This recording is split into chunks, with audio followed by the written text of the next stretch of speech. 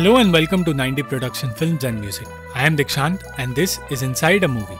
अगर आप इस चैनल पर नए आए हैं तो चैनल को सब्सक्राइब करना और बेल आइकन दबाना मत भूलना इस वीडियो में हम बात करेंगे 2015 की Swedish film a man called Ove के बारे में, जो 2012 की नॉवल पर आधारित है स्वीडन के किसी इलाके में ओवे लंदाल नाम का एक आदमी रहता है, जो अपने गुस्सेल स्वभाव के लिए जाना जाता है वो अपनी पत्नी सोनिया के जाने के बाद अकेला हो गया है और उसे अकेले रहना ही पसंद है वो अपने इलाके की हर एक चीज़ पर नज़र रखता है और उसे कोई गंदगी नहीं पसंद। ना तो उसे दूसरे लोग पसंद है और ना ही लोगों को वो पसंद है। तैतालीस साल तक एक ही कंपनी में काम करने के बाद उस कंपनी के मालिक उसे रिटायरमेंट के लिए कहने लगे और ना चाहते हुए भी ओवे को मानना पड़ा। ओवे पहले ही डिप्रेशन में ज़िंदगी जी रहा था और नौकरी हाथ से जाने के बाद उसके लिए जीने का मकसद नहीं रहा। इसलिए सोनिया के बारे में सोचते हुए उसने अपनी जान देने की कोशिश की, पर तभी वहाँ कुछ नए लोग रहने आ गए।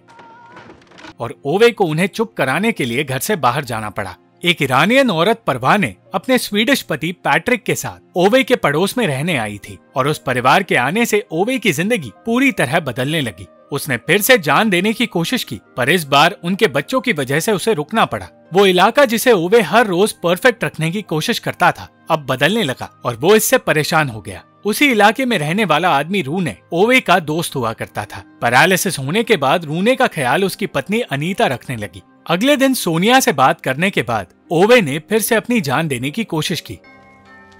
पर इस बार भी उसके घर के दरवाजे पर कोई आ गया। उससे मिलने फिर से परवाने अपने परिवार के साथ आई और पैट्रिक ने कहा कि उसे किसी काम के लिए, उसकी सीढ़ियों की ज़रूरत है। ओवे ने उनकी मदद तो की, पर वो किसी से बात नहीं करना चाहता था। वो अनीता से भी नाराज़ था, क्योंकि ओवे इलाके का चेयरमैन हुआ करता था, पर उसे हटाकर रूने को चेयरमैन बना दिया गया था। उसके गुस्सेल बर्ताव को देखकर परवाने और पैट्रिक दोनों हैरान हो गए, पर ओवे का बर्ताव सोनिया की तस्वीर देखते ही बदल गया।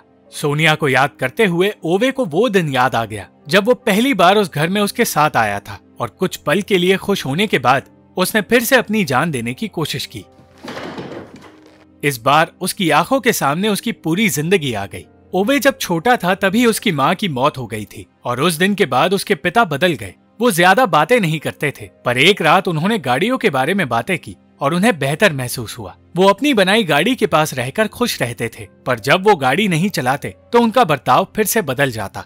एक दिन ओवे अपने पिता का काम देखने उनके पास गया और तब अपने बेटे को खोने का डर उनके सामने आया।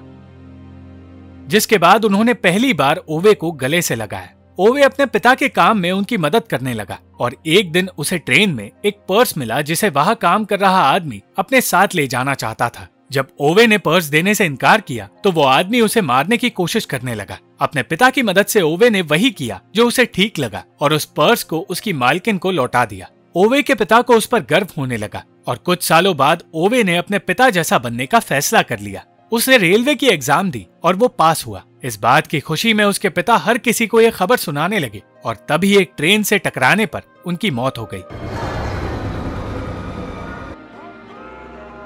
उस दिन को याद करते ही अचानक ओवे की जान देने की कोशिश फिर से नाकामयाब हुई।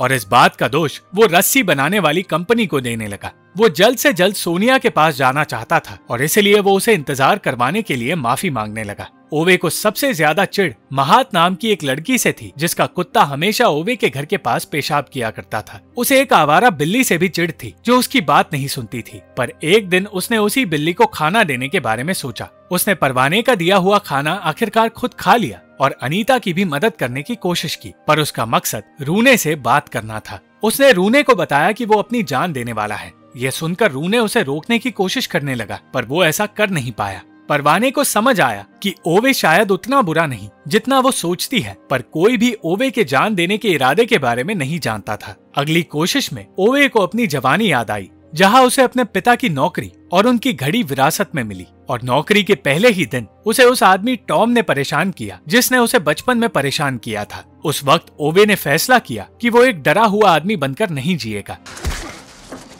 कुछ दिनों बाद, ओवे के घर लोकल काउंसिल के लोग आए, जिन्हें वो व्हाइट शर्ट कहा करता था। और वो लोग उसके घर को तोड़ने की बात करने लगे, क्योंकि वो घर पुराना था। ओवे ने अपने घर की मरम्मत कर ली और उन दोनों को घर तोड़ने से रोक लिया। पर एक रात ओवे के पड़ोसी के घर में आग लग गई। उसने उस घर में फंसे लोगों को तो बचा लिया पर वो आग फैलकर ओवे के घर तक पहुँच गई और जानबूझकर काउंसिल के लोगों ने वो आग नहीं बुझाई। उस रात ओवे ने अपना घर खो दिया और सिर्फ़ अपने पिता की घड़ी लेकर वो रेलवे कंपनी में आ गया, जहाँ एक ट्रेन को ही उसने अपना घर बना लिया। उसी ट्रेन में ओवे की मुलाकात अगले दिन सोनिया से हुई और सोनिया की खूबसूरती और अच्छा बर्ताव देखकर उसे सोनिया से प्यार होने लगा। सोनिया एक टीचर बनने की तैयारी कर रही थी और खुद भी ओवे को पसंद करने लगी थी। ओवे सोनिया से मिलने के लिए हर रोज उसी ट्रेन में सफ़र करने लगा, पर तीन हफ्तों तक जब उसे सोनिया नहीं मिली तो वो अपनी उम्मीद खोने लगा था। पर तीन हफ्तों बाद आखिरकार सोनिया उसके सामने आई और ओवे की फीलिंग समझकर सोनिया ने उसे डेट पर चलने के लिए कहा।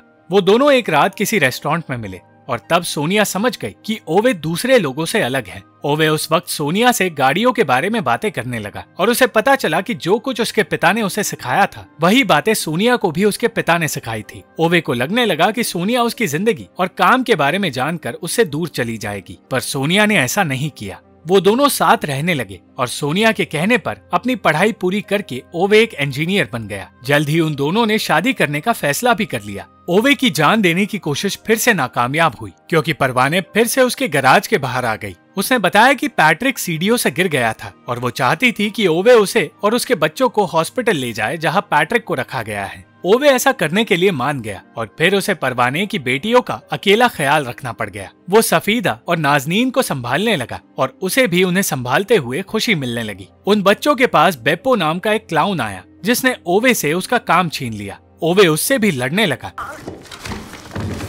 और इसी की वजह से उसे हॉस्पिटल से बाहर भेज दिया गया। सफीदा और नाजनीन ओवे के करीब आ गए थे और ओवे अब बदलने लगा था। अगली सुबह वो घर से दूर गया और ट्रेन के आगे कूदने के बारे में सोचने लगा, पर तभी एक आदमी रेलवे ट्रैक पर गिर गया और ओवे ने देखा कि कोई उसकी मदद नहीं कर रहा। ओवे ने उस आदमी को बचा लिया और एक बार के लिए पटरियों पर रुकने के बारे में सोचकर वो वापस प्लेटफॉर्म पर आ गया। घर लौटकर परवाने ने उसे नाजनीन की बनाई एक ड्राइंग दी और कहा कि अब वो उनके परिवार का हिस्सा बन चुका है। परवाने को वही आवारा बिल्ली घायल हालत में मिली। और गुस्से में उसने ओवे से बिल्ली की मदद करने के लिए कहा। ओवे को ना चाहते हुए भी बिल्ली को अपने घर में लेना पड़ा। इलाके में रहने वाला लड़का जिमी भी उनकी मदद करने आया, पर उस बिल्ली की ज़िम्मेदारी अब ओवे को ही लेनी पड़ी। ओवे ने जितना सोचा था, मरना उतना आसान नहीं, और अब सोनिया के अलावा वो बिल्ली भी उसकी ज़िंदगी का हिस्सा बन चुकी थी। ओवे को बच्चे पसंद तो थे, पर वो हमेशा इस डर में जीता रहा कि वो अच्छा पिता नहीं बन पाएगा। इसी डर की वजह से उसके और सोनिया के कभी बच्चे नहीं हुए। कुछ दिनों बाद पैट्रिक घर लौट कर आया और उस दिन ओवे परवाने के पास गया। परवाने चाहती थी कि ओवे उसे गाड़ी चलाना सिखाए और ओवे ने उसकी ख्वाहिश पूरी की। ओवे ने जितना सोचा था, गाड़ी सिखाना उतना आसान नहीं था। पर वो अपने इस काम के बीच किसी को आने नहीं दे रहा था। धीरे धीरे परवाने और उसकी दोस्ती होने लगी और ओवे ने उसे अपनी ज़िंदगी के बारे में बताना शुरू किया। उसने रूने और अपनी दोस्ती के बारे में बताया और सब कुछ बताते हुए वो भी अपने अतीत को याद करने लगा। रूने और ओवे दोनों उसी इलाके में मिले थे और काफ़ी हद तक एक दूसरे की तरह थे। दोनों ही नियम और कानून को सीरियसली लेते थे, पर फिर ओवे को पता चला कि रूने और उसकी गाड़ियों की पसंद एक दूसरे से पूरी तरह अलग है। सालों तक उन्होंने इस बात को इग्नोर तो किया, पर वो दोनों धीरे धीरे गाड़ियों की वजह से एक दूसरे से दूर होने लगे। सालों बाद जब रूने का बेटा अमेरिका गया तो ओवे ने अपनी इस दुश्मनी को खत्म करने के बारे में सोचा, पर फिर रूने ने उसे अपनी नई गाड़ी दिखाई और तब उनकी दोस्ती हमेशा के लिए टूट गई। उस रात परवाने ने ओवे से कहा कि उसे उनकी बेटियों के साथ रहना होगा। ओवे तो उसके इरादे समझ नहीं पाया, पर पैट्रिक समझ गया कि वो सिर्फ़ ओवे को खुश रखना चाहती है। घर लौटकर पैट्रिक ने देखा कि उनके घर की साफ़ सफ़ाई की गई है और ओवे बच्चों को अपने परिवार की ही तरह प्यार देने लगा है। इतना ही नहीं, वो अब अपनी बिल्ली को भी प्यार देने लगा था। इलाके में रह रहा लड़का एड्रियन अपनी गर्लफ्रेंड के लिए साइकिल ठीक करना चाहता था, पर उस साइकिल को ओवे ने अपने पास रख लिया था। मगर एक दिन उसने खुद साइकिल ठीक की और एड्रियन को साइकिल लौटाने के लिए वो परवाने के साथ उसके पास गया। यह जानकर एड्रियन हैरान हो गया। ओवे की मुलाकात एड्रियन के दोस्त मिर्साद से हुई। जब ओवे को पता चला कि मिर्साद गे हैं तो वो उससे अजीब से सवाल पूछने लगा। उसके सवालों को सुनकर परवाने उसे वहाँ से निकालकर वापस अपने घर ले आई। ठीक उस वक्त लेना नाम की एक औरत ओवे के पास आई।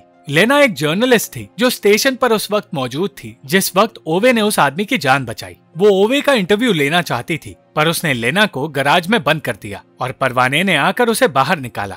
परवाने और ओवे इसी बात को लेकर हंसने लगे, और तब पहली बार परवाने ने ओवे को हँसते हुए देखा। कुछ वक्त बाद वहाँ लोकल काउंसिल के लोग आए, और उन्हें ओवे इलाके में आने से रोकने लगा। उनमें से एक आदमी, जिसे ओवे व्हाइट शर्ट कहता है ओवे से बहस करने लगा और कहने लगा कि चाहे जो हो जाए वो रूने को अपने साथ ले जाएगा। उसकी बदतमीजी से ओवे परेशान हो गया, क्योंकि वो ना तो अपने पुराने घर के लिए व्हाइट शर्ट से लड़ पाया और ना ही आज लड़ पा रहा है। इसी परेशानी में ओवे को फिर से सोनिया याद आई।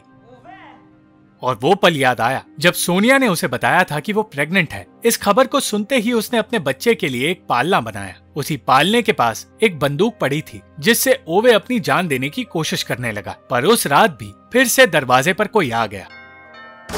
एड्रियन और मिर्साद ओवे से मिलने आए थे, क्योंकि मिर्साद को गे होने की वजह से उसके घर से निकाल दिया गया था। एड्रियन का कहना था कि सोनिया हमेशा दूसरों की मदद करती थी, इसलिए ओवे को भी मिर्साद की मदद करनी होगी। ये बात सुनकर ओवे ने उसे घर में बुला लिया। अगली सुबह उसने मिर्साद को घर संभालते हुए देखा और धीरे धीरे उसे मिर्साद भी पसंद आने लगा। हर रोज की तरह ओवे सैर पर निकला और मिर्साद के साथ साथ जिमी भी ओवे के साथ वक्त बिताने लगा। जिमी ने बताया कि तीन सालों पहले एक व्हाइट शर्ट ने कहा था कि रूने को एक इंस्टीट्यूशन में ले जाया जाएगा और ये बात सोनिया जानती थी, पर सोनिया ने ओवे से ये बात इसलिए छुपाई क्योंकि ओवे खुद परेशानियों से गुजर रहा था। ये सुनकर ओवे को बुरा लगा और सोनिया से इस बारे में बात करके ओवे अनीता के पास गया और उसने ठान लिया कि वो व्हाइट शर्ट से लड़ेगा और रूने को अपने घर से दूर नहीं जाने देगा। इस लड़ाई में उसकी मदद परवाने कर रही थी और उसी की वजह से ओवे को हिम्मत मिली। ओवे हमेशा से हर लड़ाई अकेला लड़ना चाहता था, मगर परवाने ने उसे समझाया कि कोई भी इंसान अकेले कोई भी लड़ाई नहीं जीत सकता, इसलिए उसे दूसरों से मदद मांगने में हिचकिचाना नहीं चाहिए। ओवे ने तब उसे बताया कि सोनिया हमेशा से एक वेकेशन पर जाना चाहती थी। वो दोनों स्पेन गए और दोनों ही वहाँ जाकर बहुत खुश थे। वेकेशन खत्म हुआ और घर लौटते हुए वो दोनों बस से सफ़र कर रहे थे। अपने बच्चे के आने की खुशी में वो दोनों एक बेहतर ज़िंदगी के सपने देखने लगे थे। पर जब ओवे बाथरूम में गया, तब बस का एक्सीडेंट हुआ। और उन दोनों के सारे सपने टूट गए। एक्सीडेंट से कुछ लोगों की मौत हो गई। ओवे और सोनिया ज़िंदा तो बच गए, पर सोनिया ने अपने बच्चे और अपने दोनों पैरों को खो दिया। उस दर्द में भी ओवे ने हिम्मत नहीं हारी और सोनिया के साथ फिर से ज़िंदगी सुधारने की कोशिश करने लगा। सोनिया टीचर नहीं बन पाई, क्योंकि कोई भी स्कूल व्हीलचेयर पर जीने वाले इंसान को स्कूल में नहीं रखना चाहता था। फिर भी ओवे ने हर कोशिश की, पर आखिरकार वो हिम्मत हार गया। सोनिया ने फिर से उसे बेहतर महसूस कराया और फिर से हिम्मत मिलने पर एक रात उसने वो किया जो कोई और नहीं कर पाया। सोनिया को ओवे की वजह से नौकरी मिल गई और सोनिया एक ऐसी टीचर बन गई जिसने बच्चों को सही रास्ता दिखाना शुरू किया। उसने हज़ारों बच्चों की ज़िंदगी सुधारी और इसलिए हर कोई उससे प्यार करता है। छह महीने पहले कैंसर से उसकी मौत हुई और ओवे उसके पास जाने की कोशिश में लग गया। अगली सुबह व्हाइट शर्ट रूने को लेने आया। अनीता उसे रोकने की कोशिश करने लगी और तब व्हाइट शर्ट के सामने जर्नलिस्ट लेना आई, जिसने बताया कि इंस्टीट्यूशन के लोग खुद कर्ज में डूबे हैं, इसलिए वो किसी मरीज़ को नहीं संभाल सकते। ओवे ने लेना और इलाके के लोगों की मदद से व्हाइट शर्ट्स को हरा दिया और अपने दोस्त रूने को उसने अपनी जीत के बारे में बताया। रूने भी इस जीत से बहुत खुश हुआ और अब ओवे अपनी ज़िंदगी एक बेहतर तरीके से जीने लगा। पर फिर एक दिन टहलते हुए ओवे को हार्ट अटैक आया। जल्द से जल्द उसे हॉस्पिटल ले जाया गया और ओवे ने डॉक्टर से कहा कि परवाने उसकी बेटी है। परवाने को बताया गया कि उसके पिता का दिल साइज़ में बढ़ गया है, पर इससे उसे कोई खतरा नहीं। बड़े दिल के बारे में सुनकर परवाने हंसने लगी, क्योंकि लाख कोशिशों के बाद भी ओवे मर नहीं सकता। ठीक उस वक्त परवाने की डिलीवरी का वक्त आ गया और उसने अपने बेटे को जन्म दिया। उस बेटे को तोहफे में ओवे का बनाया पालना मिला। ओवे ने उस परिवार को और भी तोहफे दिए। और अपना हर दिन खुशी से बिताने लगा। कुछ महीनों बाद परवाने ने देखा कि सुबह के आठ बजने के बावजूद ओवे के घर के बाहर सफ़ाई नहीं हुई है। ये बात उसे अजीब लगी और वो ओवे के पास गई। आखिरकार ओवे की मौत हुई। पर कुछ दिनों पहले उसने एक चिट्ठी लिखी थी, जिसमें उसने बताया था कि वो जान देने की कोशिश नहीं करने वाला, पर उसे पता था कि उसकी मौत करीब है। चिट्ठी में उसने परवाने से कहा कि अब उसे इलाके और बिल्ली की देखभाल करनी होगी। हर कोई ओवे के जाने से दुखी था, पर अंत में ओवे की आँखें उसी ट्रेन में खुली, जहाँ वो पहली बार सोनिया से मिला था, और उसी ट्रेन में सोनिया उसका इंतज़ार कर रही थी।